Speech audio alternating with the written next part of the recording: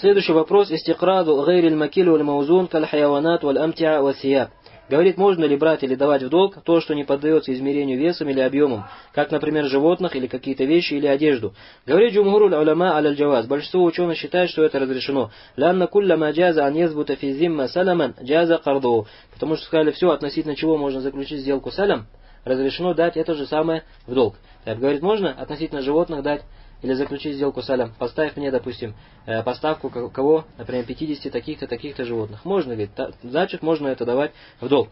Вакаля Абу Ханифа, искал Абу Ханифа, это второе мнение в вопросе, ла яджуз карт гайрил макиль валь маузун. Не разрешено брать или давать в долг то, что не измеряется ни весом, ни объемом. Лянну ла мисля ла фашба аль джавахир, потому что этому нет подобия, поэтому оно подобно чему драгоценным камням. Уауджиба анаби Ханифа, и говорит, Ответили Абу Ханифе следующим. Бихадис Аби Рафия у Офса Муслим. Ответили хадисом Абу Рафия, который приходит у имама Муслима. Анна Набия, саллаллаху алейhi стаслифа Бакран.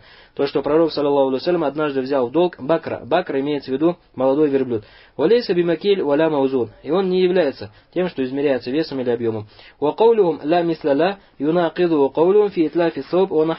И слова ханафитов о том, что нет подобия этим вещам, Противоречит этому их же самое слово относительно одежды. Когда разбирая вопрос о том, если погибнет одежда, имеется в виду, если одежда испортится и исчезнет, они говорят относительно нее «язвуту физиммати и мислюху». В этом случае он должен отдать подобие этой одежды. То есть, если он взял в долг, э, или точнее взял на пользование, допустим, какую-то вещь, и потом приступил относительно ее границы, и, и по его причине, по его вине эта одежда, допустим, сгорела. Тогда, говорит, он должен отдать подобие ей. То есть, сами же говорят, что у одежды есть подобие. А здесь говорят, что у нее нет подобия.